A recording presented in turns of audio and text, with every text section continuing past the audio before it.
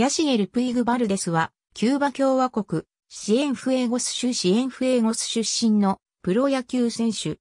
宇藤右打ち。メキシカンリーグのベラクルスイーグルス所属。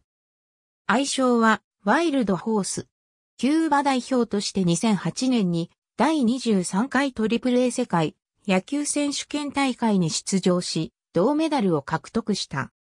国内リーグセリエナシオナルデベースボールのエレファンテスでシエンフエゴスに所属し、2010から11シーズンに3割3分、17本塁打の成績を残した。2011年にキューバ代表として第13回ワールドポートトーナメントに出場した。その後亡命を企てたことが見つかり、2011から12シーズンはプレーすることを許されなかった。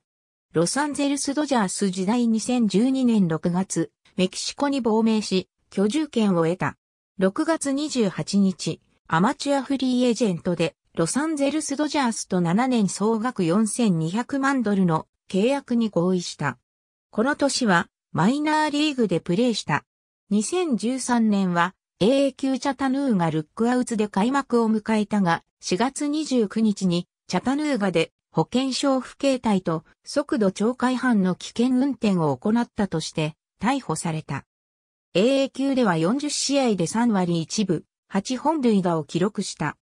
6月2日にメジャーへ昇格し、6月3日のサンディエゴパドレス戦でデビューを果たし、初打席でエリック・スタルツからヒットを記録した。6回にも無前だ。9回の守備では強肩も披露。フェンス際でフライを取ると一塁に送球し、飛び出した走者を刺して勝利に貢献した。翌日のパドレス戦では、クレイトン・リチャードから初本塁打を含む2本塁打5打点の活躍をした。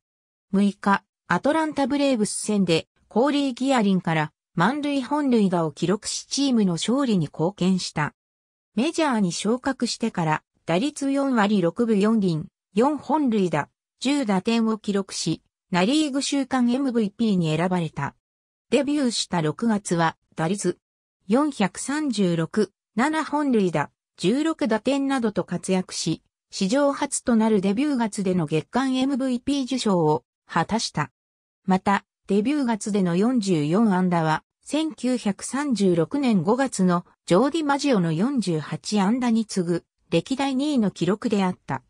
新人王の投票では、同じキューバ出身のホセ・フェルナンデスの次ぐ2位に入った。オフの12月28日に、フロリダ州の高速道路で70マイルの制限速度を40マイル超過の110マイルで運転していたため、危険運転の疑いで逮捕された。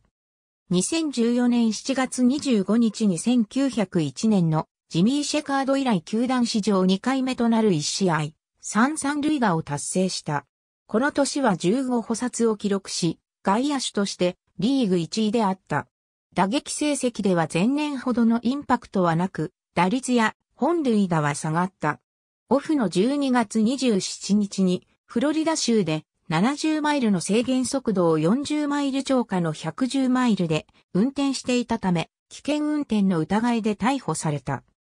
プイグは以前2度速度超過で逮捕されており、この年の1月にいとこを運転手として雇い、ドジャースのスタンカス店球団社長に運転しないことを誓っていたが、3度目の逮捕となった。8月20日に日米野球2014の MLB 選抜に選出された。2015年は故障の影響もあって、規定打席到達を逃し、それに伴い打撃成績も79試合の出場で、打率255.11本塁打、38打点と昨年から下落した。2016年6月に故障者リスト入りした。その後も調子が上がらず、81試合の出場で、わずか7本塁打と低迷した。8月1日に新加入となったジョシュ・レディックを25人枠に登録するため、マイナー降格となった。2017年は自己最多の152試合に出場し、3年ぶりに規定打席に到達。春先は不振で打率が2割台前半を推移したものの、夏場以降調子を上げて、最終的に打率263、28本塁打、74、打点という成績を残し、本塁打と打点はキャリアハイだった。ポストシーズンでは終盤まで打率400オプス1を超えるように活躍し、チームのワールドシリーズ進出に貢献した。2018年8月14日のサンフランシスコジャイアンツ戦で7回の打席でニック・ハンドリーと口論になり、乱闘を起こし、ハンドリーと共に退場処分を受け MLB より2試合の出場停止処分を受けた。最終成績は打率267、23本塁打、63打点だった。ポストシーズンでは打率300で一定の活躍を見せ、チームの2年連続ワールドシリーズ進出に貢献した。2018年12月21日に、ホーマー・ベイリー、ジーター・ダウンズ、ジョサイア・グレイとのトレードで、アレックス・ウッド、マット・ケンプと共にシンシナティ・レッズへ移籍した。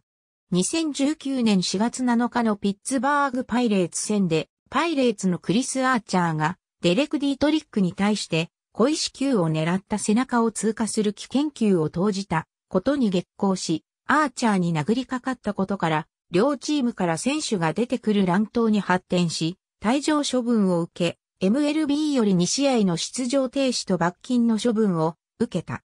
7月30日のパイレーツ戦で再びレッツの投手が三塁側のパイレーツベンチに詰め寄って、パイレーツの選手に殴りかかったことから、両軍の選手の乱闘が始まると、右翼を守っていたプイグは、全速力で駆け寄って、乱闘に加わった。この乱闘でまたも退場処分を受けた。2019年7月30日に三角トレードの一角として、同僚で、プロスペクトのスコット・モスや、サンディエゴ・パドレスのフランミル・レースらと共に、クリーブランド・インディアンスに移籍した。8月1日に前述の乱闘騒ぎによる3試合の出場停止処分が発表され、異議申し立てをすることなく、同12日から処分を受けた。シーズン全体で149試合に出場して打率267、24本塁打、84打点の成績だった。オフの10月31日にフリーエージェントとなった。2020年になっても所属先が決まらず無所属のまま過ごしていたが、新型コロナウイルスの影響でシーズン開幕が遅れていた7月にアトランタブレーブスと契約合意した。しかし数日後にコロナウイルスに感染したため契約は白紙となった。2021年も無所属のまま過ごしていたが、4月21日にメキシカンリーグのベラクルスイーグルスと契約した。同郷のヨエニス・セスペデスを彷彿とさせる強権が最大の武器。2014年のベースボールアメリカシニヨルナリーグ選手部門別ランキングでは肩の強い外野手で1位の評価を受けた。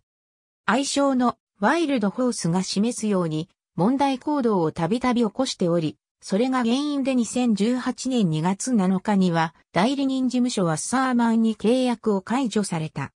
2012年6月にメキシコ国籍を取得。メキシコ代表入りには興味を示していた。2019年8月14日、アメリカ市民権を取得。国籍をメキシコからアメリカへ変更した。同じキューバから亡命したヤディル・ドレークと親交があり、ドレークの日本球界域にはプイグの助言があった。ありがとうございます。